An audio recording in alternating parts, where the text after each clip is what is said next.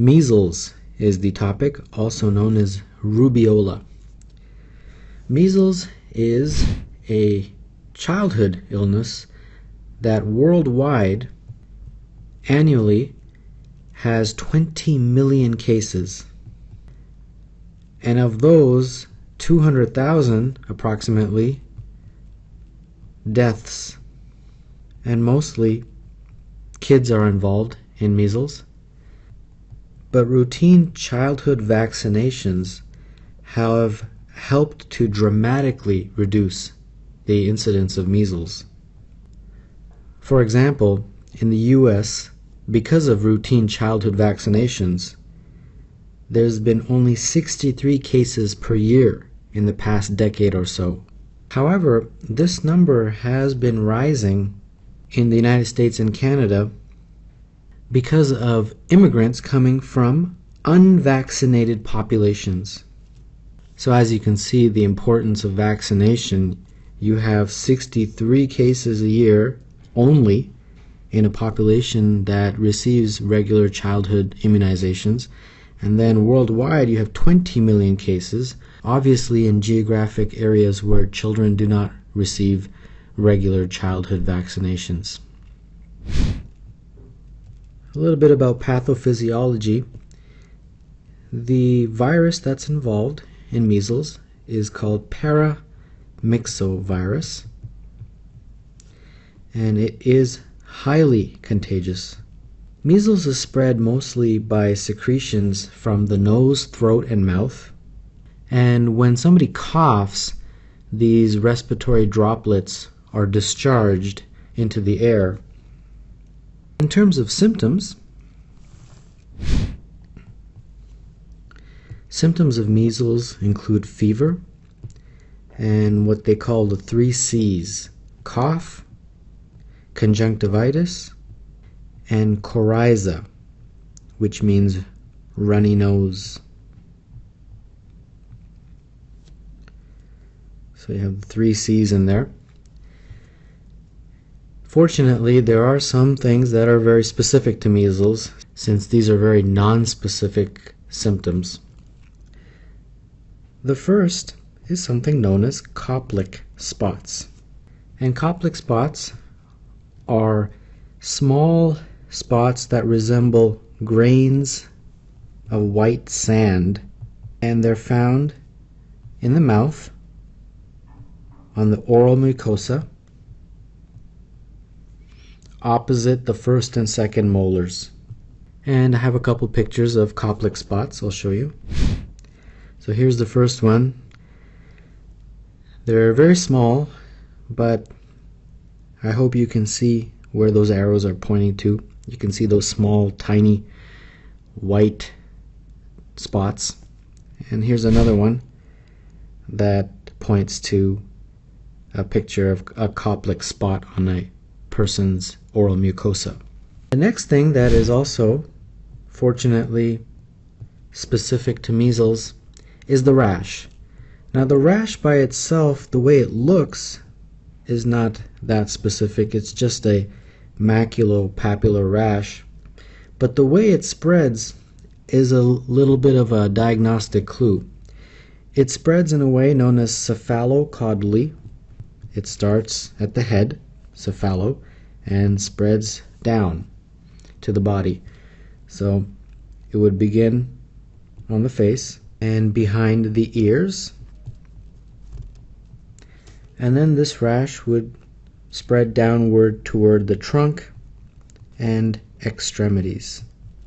So the distribution and the way it spreads is important. And I'll show you a few pictures. So here's the rash, the way it looks. Here's another picture of a person with measles. And this is a picture that shows the distribution. As you can see initially, starts in the face, behind the ears, and then later spreads downward, eventually going all the way down to the lower extremities. Complications. Unfortunately, measles can progress to rather serious complications such as pneumonia, SSPE, which is an abbreviation for subacute sclerosing panencephalitis, and otitis media. Among all the complications, otitis media is by far the most common. Diagnosis Measles is really a clinical diagnosis based on physical exam and symptomatology, but you can do blood tests. And those blood tests involve measuring the measles IgM antibody. And you can also detect the virus by doing a culture or PCR of either the throat swab or a culture of the nasopharyngeal swab. In terms of treatment, surprisingly, treatment is mostly supportive. Antivirals are actually not used, so you just treat the fever, hydration as necessary. However, giving the patient vitamin A has been shown to be beneficial.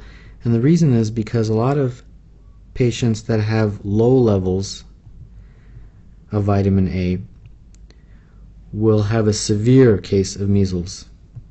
And of course, because measles is highly contagious, limit the contacts that the patient has, in particular during those first four days after the rash begins because that is the period when the patient is most contagious.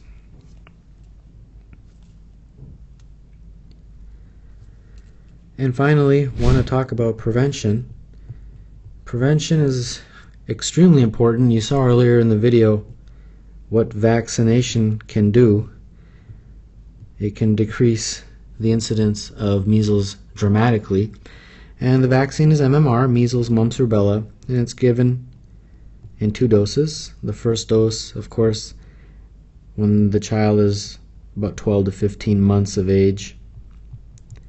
And the second dose is given when the child is between about 4 to 6 years of age. And lastly, I wanted to say that this vaccine can also be given to contacts of the patient within three days of exposure. So now let's take a look at a few clinical vignettes. A three-year-old girl who is a recent immigrant to Canada presents to your clinic. Her mother reports that her daughter has had fever, cough for three days. On physical exam, she has a temperature of 39.7, injected conjunctiva, and red spots on her buccal mucosa. She is normotensive and communicative which of the following agents is the cause of her disease. They describe the conjunctivitis, the cough, and they talk about what are Koplik spots, and also the fact that she's recently arrived, perhaps from an area of the world that routine vaccinations are not done, and the virus involved is paramyxo. The only thing that was a little strange was the fact that they called it red.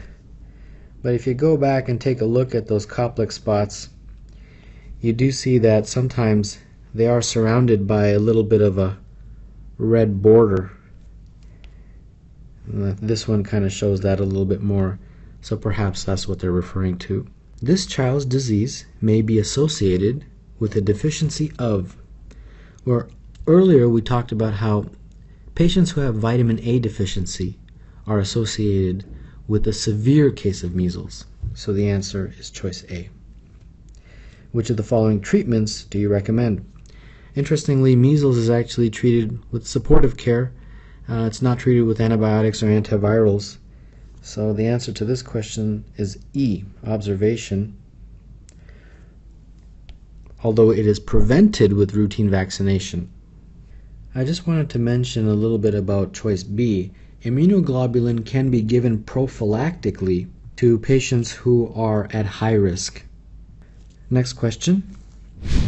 A five year old child who has not had routine pediatric care develops a febrile disease with cough and a blotchy rash and is brought to the emergency room.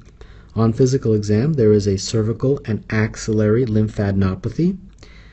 Also noted is an erythematous maculopapular rash behind the ears and along the hairline involving the neck and to a lesser extent the trunk.